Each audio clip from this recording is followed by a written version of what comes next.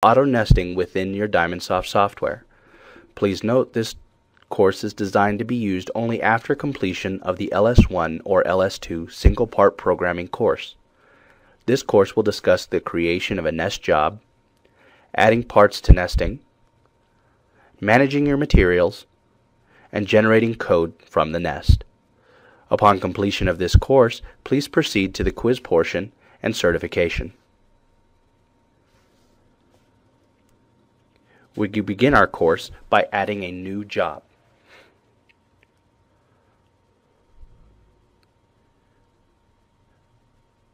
Within the job, you may add a part using the Add Part button. Please use the File Open dialog.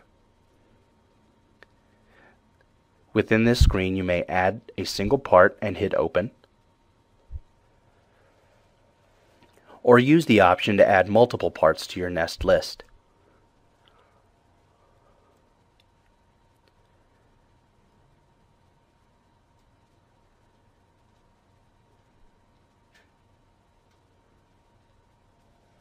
You may also remove any unwanted parts from your list using the Remove Part button.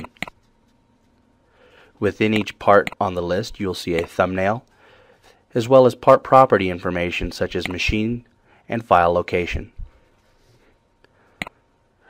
Along the list, you also see the file location listed here, as well as machine data,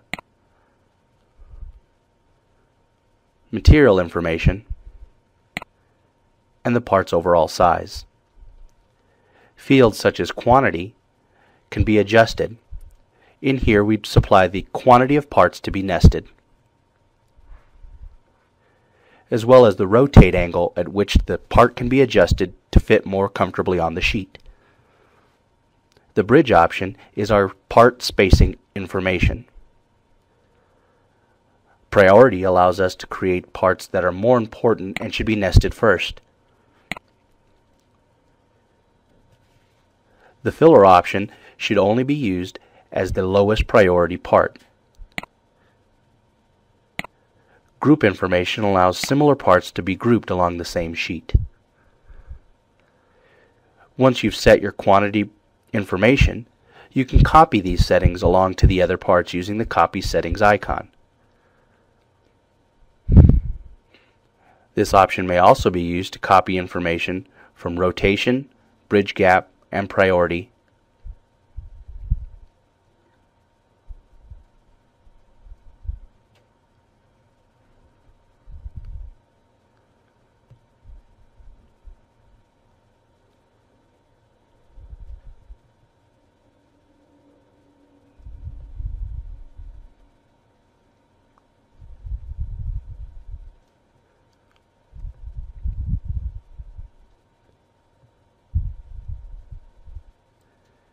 Priorities can also be set automatically according to part size, by descending order of largest part, or by the longest part using descending order of maximum extent.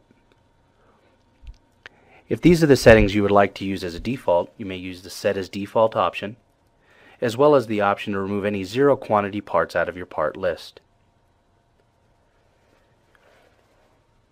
We may also add parts using the Assemblies option.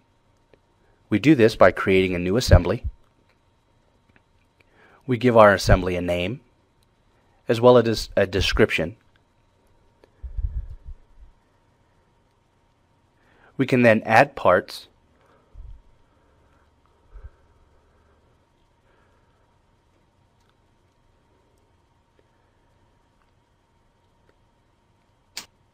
and adjust their properties the same way we did in the Parts tab.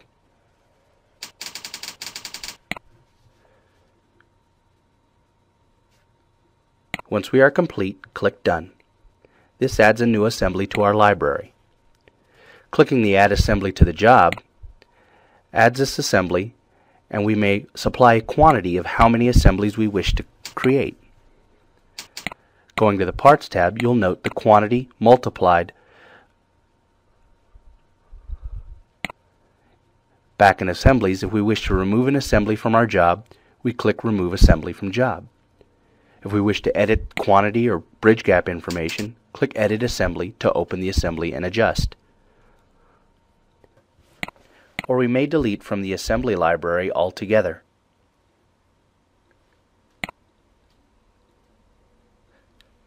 This completes this course for adding parts to our nesting job from the Parts and Assemblies tab.